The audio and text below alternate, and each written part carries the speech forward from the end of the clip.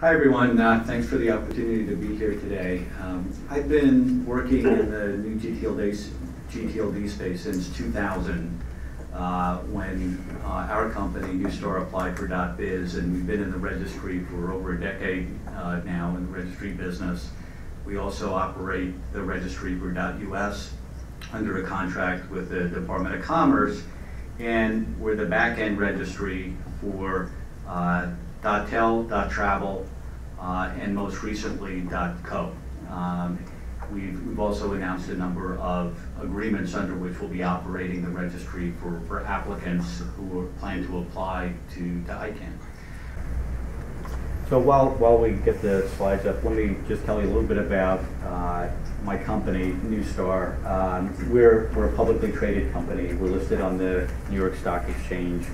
We're uh, half a billion in revenue. Last year, we, we have over a thousand employees. Um, and we provide a number of services, including running the number portability database for all the telecom carriers in North America. We run the Common Short Code Registry, and uh, we have, we're the world's largest provider of enterprise uh, DNS services. And uh, we're here today primarily, of course, to talk about our, our registry business.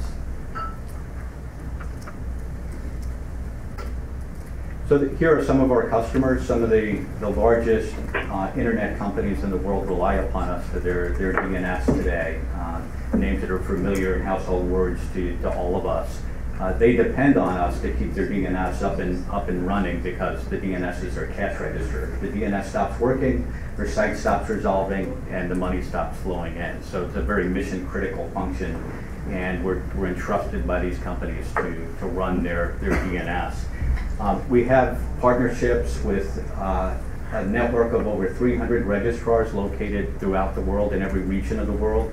That's important to new GTLD applicants because distribution especially for keyword generic TLDs, is, is very important. And the registrar generally will like to work with a registry they're already connected to, whose procedures they're already familiar with, um, who already have uh, accounts set up for billing and, and reporting and things of that nature. So, as you look for registry providers, one thing to consider is the connectivity that registry provider has to the registrar community around the world. That's especially uh, important to generic keyword TLDs and city TLDs. Um, next slide.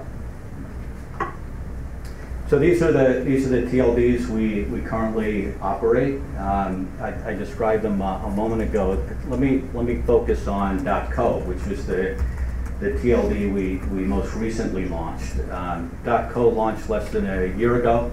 Uh, it's been rebranded. It was you know, the country code for, and still is the country code, code for Colombia. It's being marketed as that company. Um, and it's seen great success. Many in the industry point to .co as the model for launching a, a new GTLD.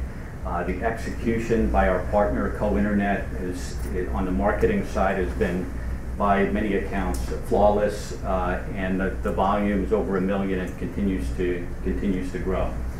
Um, you know, what you see here is experience. I mean, as you look for registry operators to support your GTLDs, uh, and, and others have said this earlier in our session, experience is very important.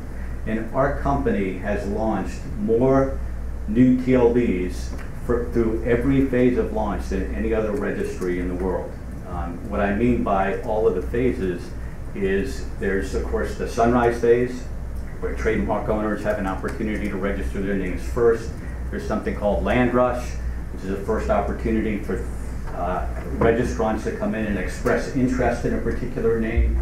And then there's open registration and ongoing operations.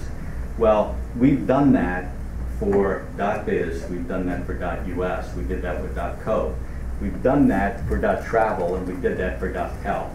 No other registry in the world has brought a new TLD to market through all of those phases.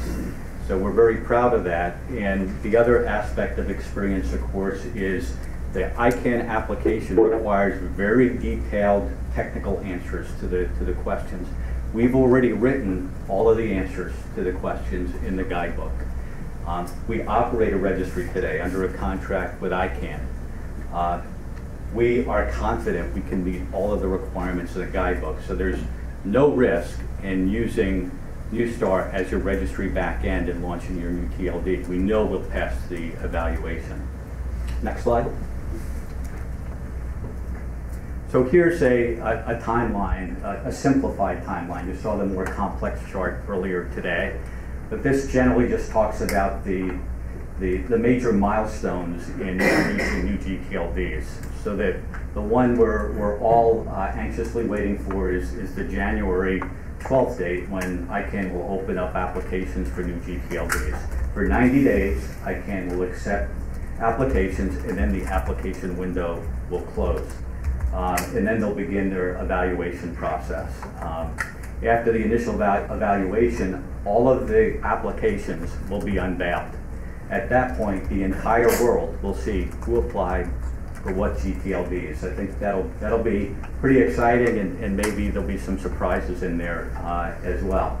The, the entire process, the evaluation process, uh, takes a total of nine months from the beginning of the, the evaluation to actual delegation and contracting of the TLD at a minimum.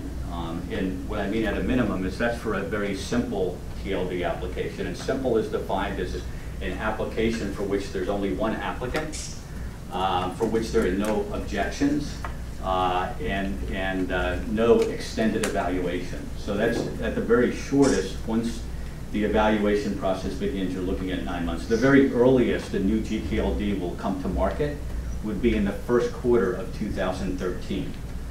Um, the TLDs are likely to be in that first batch will be cities, because only, you know, in a lot of cases, a city will apply itself. In that case, they're the only applicant. Um, brands, because they have trademarks, especially brands with very unique names, will be amongst the first that, that get approved. That doesn't mean they'll launch their new TLD right away, but they'll, they'll be approved and be delegated to the root uh, early on. And then smaller niche TLDs for which there's only one applicant. Um, so there's no contention, there's no need for negotiation, there's no auction. Those will be amongst the first that come to market in the first half of, of 2013. Uh, next slide.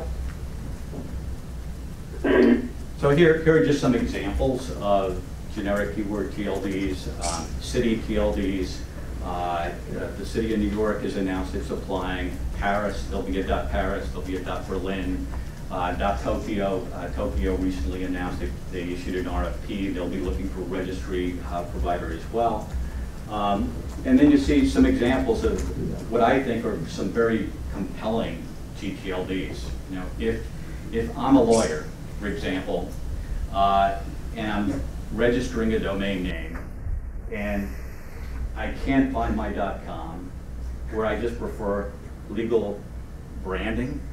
I mean, dot law stands out and says, this is for you. I mean, personally, if I was an attorney, there's no way I would not have a dot law. Every law student should get the, a dot law. So those are, those are the kind of compelling new GTLDs that are, that are potentially coming to market. There'll be multiple applications for TLDs like dot law and many of the others you can see up here. We, we've already announced that we're working with several parties who plan to apply. Uh, you heard Annalisa talk a little while ago about Dot Green. Uh, we're very proud to be uh, their back-end registry provider for their application. Um, Dot Site, which is uh, an application being filed by a company called Urban Brain in, in Japan. And you heard Scott Seitz talk earlier about Dot Gay, the community TLD, will be operating the registry technology services for that GTLD as, as well. Uh, next slide. So here are, here are some reasons, and I'll, I'll go through this quickly because I know we're time constrained, but here are some reasons why brands should think about getting their TLD if they're not already thinking about it. Number one is it's the shortest, you, you get the shortest domain name possible. Some, somebody mentioned this earlier, www.brand. Um, so shorter, memorable, more memorable is generally better when it comes to domain names. So better than www.company.gtld forward slash something is just something.brand. Um, It's easier for consumers to remember, they retain it faster, fewer impressions are required, and your return on investment is better from an advertising perspective. Complete flexibility to the left of the dot, right? So no longer does a company have to search for an available domain name for a new tagline or a new product, or if they're launching a new, new, new initiative of some kind.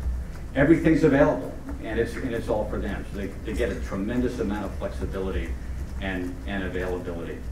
Um, you know, from a, uh, an end user perspective, in terms of direct navigation, it can be very user friendly. So if I know, for example, that, uh, you know, if, if I'm Nike and I want to, I want to promote soccer, my soccer line, right? Soccer.nike. And if I'm a soccer fan, I'm a soccer enthusiast, and we go to Nike, over time, users will learn, if I want to go to Nike Soccer, I go soc- soccer.nike. Uh, From an SEO perspective, uh, and this is a bit of speculation on my part, but if you consider that the search engines ultimately want to deliver to the user the best, most relevant uh, content they, they can provide, you, you would think that if somebody types in soccer Nike, they're, they're not going to show, uh, you know, some apparel distributor somewhere that carries Nike merchandise. They're going to rank soccer.nike higher. Of course, soccer, uh, Nike.com is already at the top of the page for, for search on Nike, right?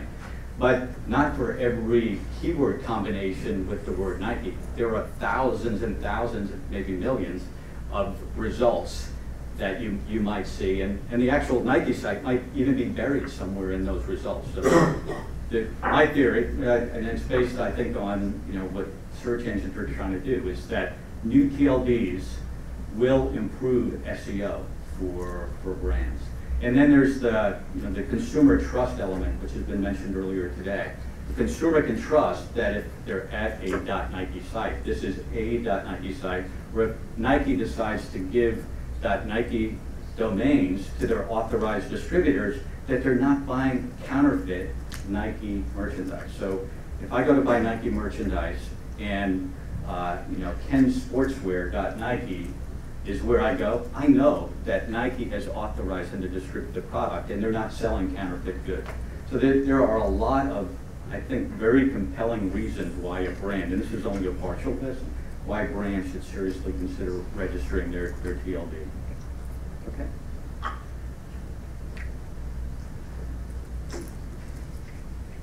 So, um, you know, recently, we, we made an announcement about something we call brand assurance, because I've been out talking to brands for two years now about new GTLDs.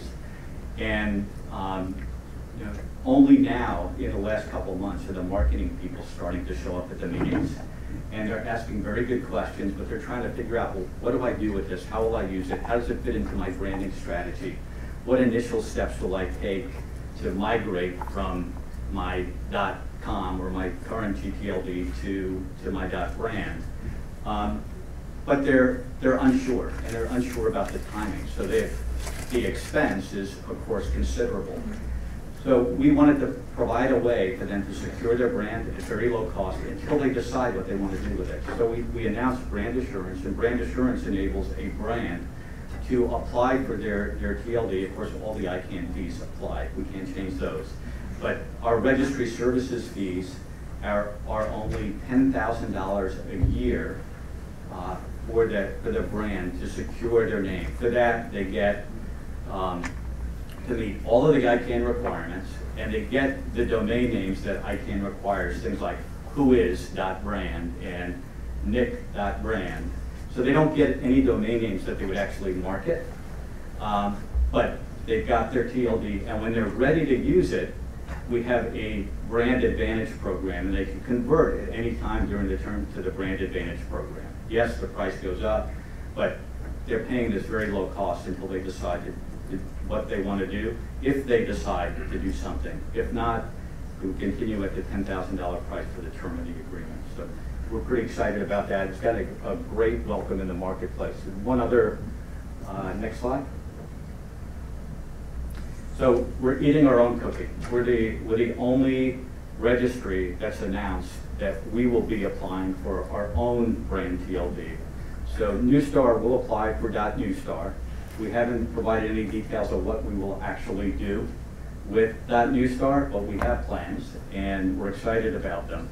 Um, We're looking forward to, to bringing this to market. So you heard this advice earlier today, that the clock is ticking, application deadline is getting very close. If you're not engaged with registries, if you haven't engaged experts who can help you through the process, now is the time to do it. Uh, When it comes to registries, look for those with experience, bringing TLDs to market through all of the phases of, of launch. Um, And most importantly, ask to talk to each of the customers they currently provide registry services to. So you can talk to .co, you can talk to .tel, you can talk to .travel, you can talk to their CEOs, and they'll, they'll tell you about Neustar, and I'm confident you'll get very good feedback. You should do that with every one of the registries you are working with or considering working with. So thanks, I- I'm sorry for Thanks, running Ted. over a little bit, hope that was helpful. Okay.